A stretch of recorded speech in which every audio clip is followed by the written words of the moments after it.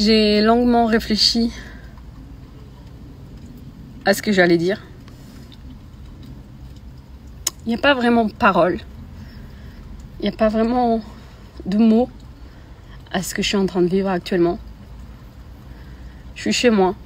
Je suis rentrée à peine 5 minutes. Je ne veux pas m'étaler et faire des posts exprès pour ce qui se passe. Je vais dire simplement ce qui s'est passé. J'ai vécu un calvaire.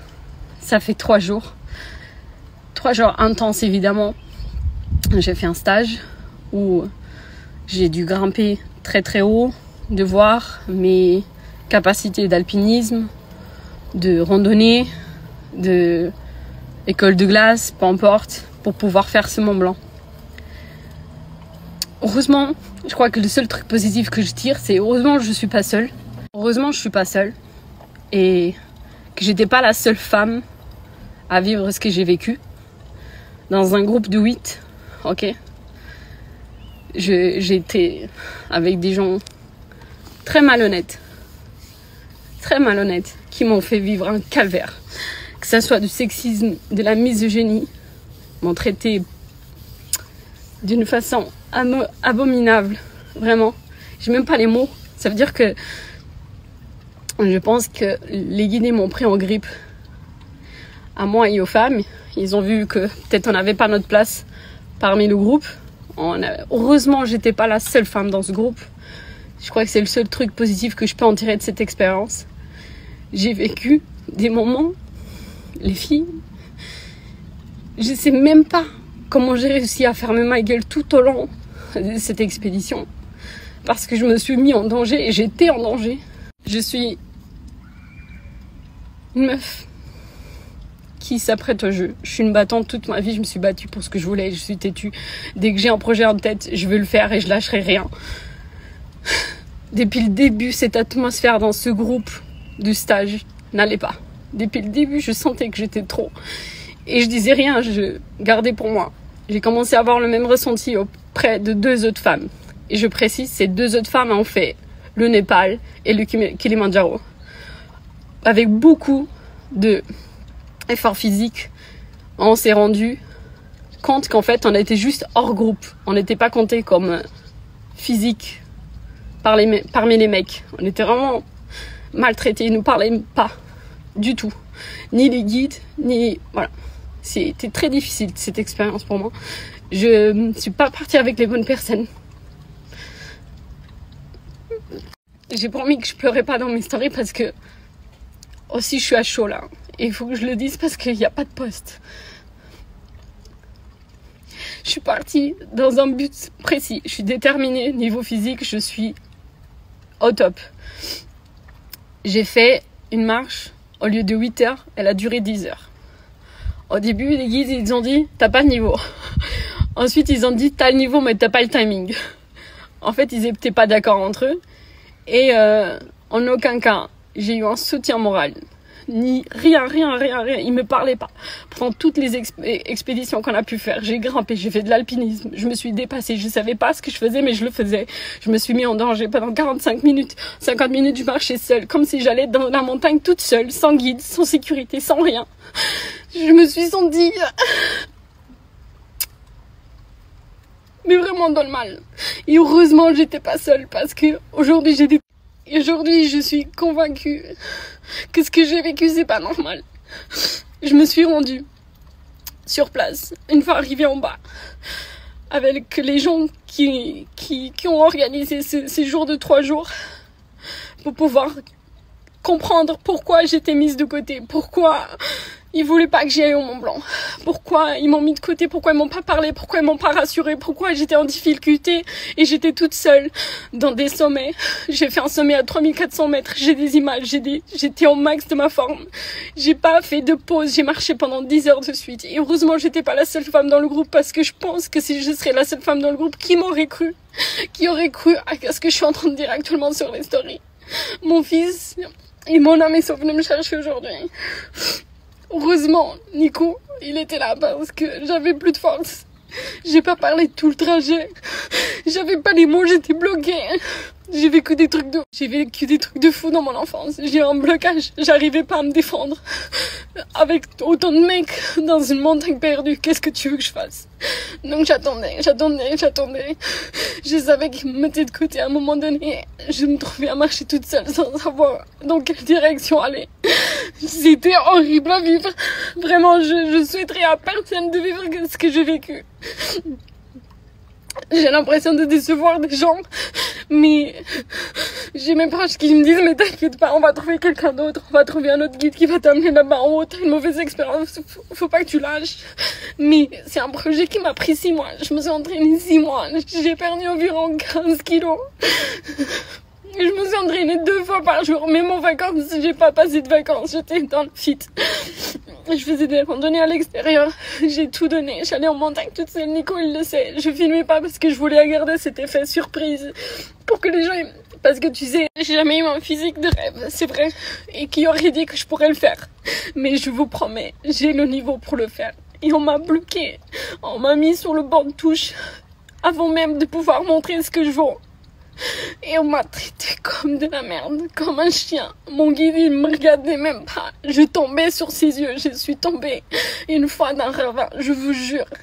Il m'a même pas demandé si ça va, il m'a même pas aidé à me lever. J'ai vécu un truc de ouf. J'ai toutes les images. Heureusement, j'ai des caméras et tout. Juridiquement, je vais voir ce que je peux faire. Je veux pas que les gens y vivent la même chose que moi. Donc je vais me renseigner si je peux mettre ça sur les réseaux ou. Mais ce que j'ai vécu là aujourd'hui, et, ces jours, je peux plus, je peux plus vraiment. Je suis à bout. Je suis dans un état de mental. J'arrive même pas à parler. Je suis fatiguée.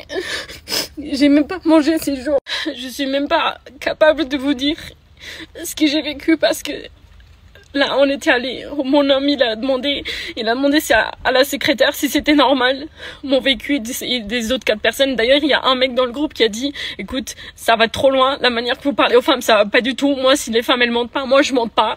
Et il a pris ses couillonnes, ses couilles, et il a, il a dit, je vais pas non plus. Et donc, sur un groupe de huit, il y en a que quatre qui sont allés. Et l'image je suis choquée comme un humain il peut être aussi cruel. Je vous promets. J'ai jamais vécu un truc aussi triste. Je suis tellement déçue. Mais même de moi, tu sais, j'arrivais pas à parler, j'arrivais pas à me défendre. Et aujourd'hui, prendre les réseaux sociaux pour vous dire cet échec, mais que c'est malgré moi, vous vous rendez pas compte. Je suis dans un état, genre, vraiment, je sais pas. Je sais plus quoi faire. C'est pas moi qui ai organisé mon séjour faut savoir que j'ai laissé des professionnels l'organiser. Je pensais partir avec la bonne compagnie, mais la secrétaire elle nous avait dit qu'il y a eu déjà des cas comme ça, et surtout avec des femmes, donc c'est un peu de sexisme et de misogynie. Et moi je connais pas tout ça, je, je fais pas des trucs de mec à la base. Moi, les rondos, je le fais avec mon chéri, avec mon fils et tout, et ça s'arrête là. Jamais je suis partie en expédition pour des trucs aussi, enfin, avec un niveau vraiment élevé. Je vous promets c'était un calvaire. C'était un calvaire. Je veux rebondir sur un truc positif. Donc je suis à la recherche d'un guide. Et je suis en train de contacter tout le monde pour pouvoir repartir. Mais en attendant, je suis venue à la maison. Il me restait encore trois jours, j'avais tout loué, j'avais mon, mon appartement, tout était prévu, ma nourriture, tout était prévu. Ils ont gâché mon souvenir, mon projet que je garde depuis six mois. Je sais pas si je vais réussir à partir là en Mont Blanc parce que je sais pas s'il y aura des guides disponibles parce qu'il faut savoir que quand tu pars là-bas en Mont Blanc, c'est des projets qui prennent du temps et que voilà, ils sont pas tous disponibles, ils sont la plupart tous pris. Et euh, moi je pensais que faire en groupe c'était mieux que faire toute seule avec un guide privé parce que je me sentirais peut-être moins seule et on pourrait parler. Mais je vous promets, mon guide ils n'étaient jamais avec moi. Jamais, jamais, jamais, jamais. Il y avait deux guides. Ils étaient jamais avec moi. Ni avec moi, ni avec les filles. Ils étaient qu'avec des mecs. Ils nous parlaient pas. Quand on arrivait vers les mecs, ils, ils se barraient. Ils parlaient même pas avec nous. Je me mets plein de fois. Personne m'a demandé si ça va. Je te promets, je me suis sentie comme une grosse merde. J'ai, j'ai l'impression de décevoir plus qu'un. Et, j'ai même pas la force, je sais même pas pourquoi je, je parle parce que c'est cette peur, cette crainte. Ça a tout bloqué chez moi. Et je mérite pas ce que je suis en train de vivre. Donc, Je vais rebondir. C'est sûr. Ça va falloir du temps, mais je vais rebondir. Pour vous dire, je me suis cassé la gueule plein de fois. J'ai des bleus partout corps. Parce que je connais pas l'alpinisme. Ils m'ont pas dit qu'il faut les dimensions d'alpinisme, etc. Donc on apprenait dans le taille. C'était une école, un stage, donc t'apprends, etc. Mais tu apprends à l'air libre. Je suis montée à 3400 les filles. J'ai des images de malades. Ça veut dire que j'ai donné tout mon physique, j'avais tous les niveaux pour réussir. Et je vous jure, il m'a pris en gré. Il voulait pas que je monte ce putain de Mont Blanc. Ni moi, ni les autres. Et aujourd'hui, je suis convaincue que j'ai vécu un truc. Genre que c'est pas anormal là-bas. C'est déjà arrivé. Et quand la secrétaire m'a avoué qu'ils ont des problèmes là-dessus. Parce que les femmes, genre, on n'est pas bien vu, on n'a pas notre place à la montagne, soit pour les mecs, genre, c'est pas un truc de femme. Alors, je savais pas que c'était à ce point. Parlait, tout mon entourage qui a fait, je me suis renseignée, je me suis conseillée envers tout le monde. Je peux vous garantir, jamais personne m'a dit un mauvais truc. Moi, les valeurs de la montagne, c'est tu la respectes, t'essaies d'avoir le physique pour y aller, sinon tu peux pas y aller. T'essaies de travailler ton cardio. J'ai fait, fait des exercices avec des personnes qui connaissent la montagne. Je suis pas partie comme ça. Vous vous rendez compte que j'ai payé tellement d'argent juste pour savoir si j'étais en forme ou pas, si j'étais capable de le faire. En aucun cas, je me mettrais jamais en danger si on m'avait pas validé avant d'aller. Vous comprenez ce que je veux dire? Là, je suis dans un état. Je, je sais même pas, je sais même pas quoi faire. Je sais même pas quoi faire. J'ai appelé tous, tous les gens, tous les gens qui ont réalisé ce, ce stage. Ils sont tous choqués. Ils savent même pas quoi me dire. J'ai toutes les images, j'ai toutes les preuves qu'ils nous ont traités comme des chiens. Je vous jure, comme des merdes comme des merdes et nous insulter de loin. J'ai jamais vécu un truc pareil. Jamais, jamais, jamais. C'est la première fois. Vraiment, je suis triste de vous annoncer comme ça. Et ça va pas être fini, je vais pas me laisser aller comme ça, je vais le faire ce putain de Mont Blanc. Et si c'est pas avec les guides que j'ai pris là, ça va être avec un autre guide, je suis persuadée. Mais je suis fatiguée, je suis fatiguée de tout ça. Je suis désolée pour mon état, c'est à chaud, mais je devais une explication parce que qui annonce assume. Et J'aurais voulu que ça soit d'une autre manière. C'est ce que j'ai dit à mon, à mon fils et à Nico. J'aurais voulu vous rencontrer dans d'autres situations. Pas comme ça.